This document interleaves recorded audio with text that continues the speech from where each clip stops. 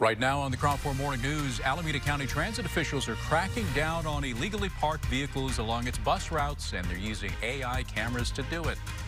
Plus, Oakland Mayor Sheng Thao is launching a new campaign urging voters to reject the recall effort against her when they head to the polls in November. And San Francisco's Fleet Week is officially here. We're live this morning with what you can expect throughout the city. Now, live the Bay Area's local news station, this is KRON 4 News at 6.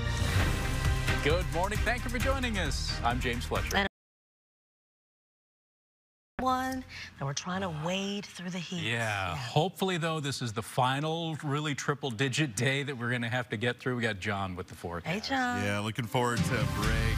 Ooh, long overdue indeed. We need a little break from this heat. At this point, we are um, looking at a day tomorrow that is going to drop to the 90s 80s at the warmest after that. Sounds pretty nice compared to where we've been. Let's start with a look outside at the Golden Gate Bridge. Skies are really clear out there with such crystal clear conditions. We've had scorching hot temperatures in some cases all the way to the coastline.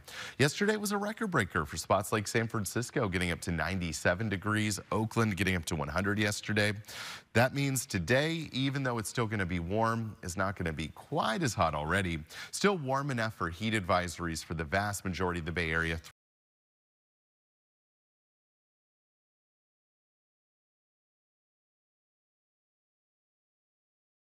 to be 90s to triple digits.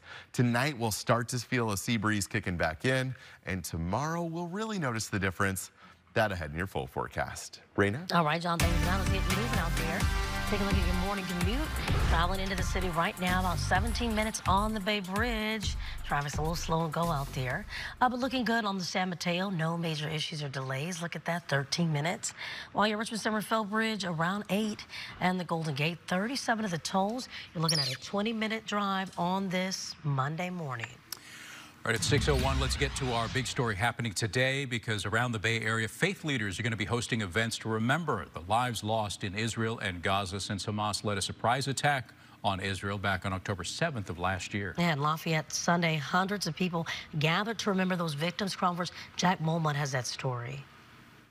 Well, a reminder to stay up to date on all your local news, weather, and sports by streaming KRON, uh, KRON 4 News on your TV for free with the KRON On app. It's also available for download on Apple TV, Roku, Fire TV, and Samsung TVs.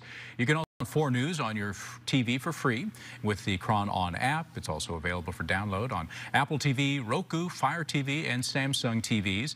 You can also stream KRON 4 News on the go wherever you are with the KRON 4 mobile app or you can watch us online as well on our website at kron4.com. It's 6.56. We're going to take a break here, but coming up in the next hour of the KRON 4 Morning News, Fleet Week is back. We'll tell you what spectators can expect